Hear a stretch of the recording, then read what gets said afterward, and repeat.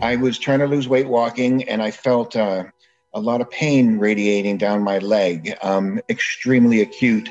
I actually collapsed, um, got back up, and uh, I went to the emergency room. I had a AAA, ascending aortic aneurysm. Then the problem was I didn't have any pulse in my foot.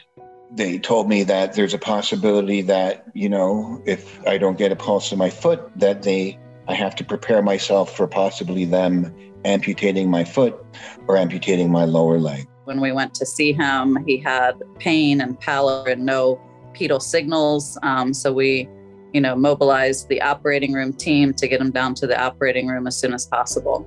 Fortunately, in his case, you know, most of that thrombus was able to be removed and we were able to restore most of that to his foot. So he was not in, in any means, you know, along the path of requiring an amputation thereafter.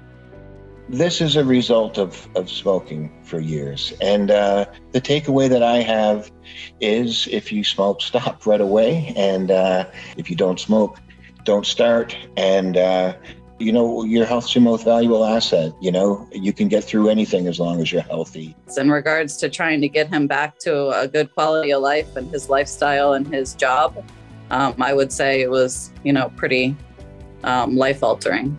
That Dr. Ross, uh, you know, was really there for me and, you know, did an outstanding job. And, uh, you know, since then, I've just been so grateful. And uh, that's the word grateful.